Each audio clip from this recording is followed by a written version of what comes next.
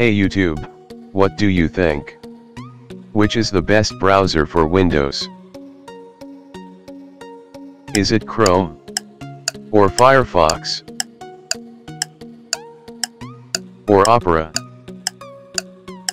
Or Microsoft Edge? Still confused about which one is best? Stay tuned till the end.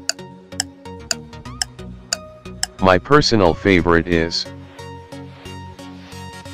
Mozilla Firefox.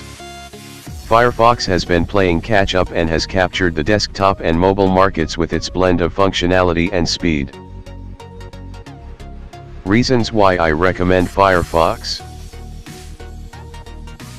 Number 1 reason is Firefox add-ons that are only exclusive to this browser.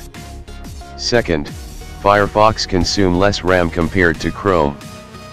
Third, Firefox is a very easy to use web browser. Fourth, Firefox has inbuilt reader mode that enables them to view an amazing print style article.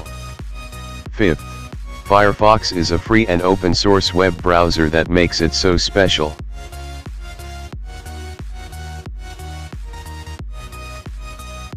A good news for Firefox users. All new Firefox, is on its way. It is Firefox Quantum. 2x faster and 30% less RAM consumption.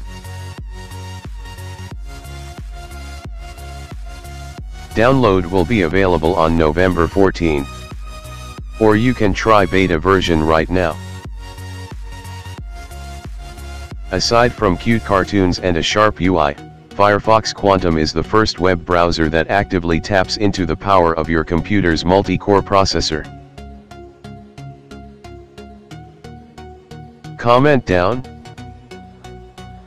Which one is your favorite browser?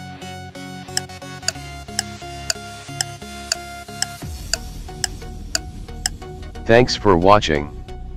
Like, share and subscribe Tweak Mind. Also press the bell icon and never miss update from us. Catch you later. Till then stay tuned.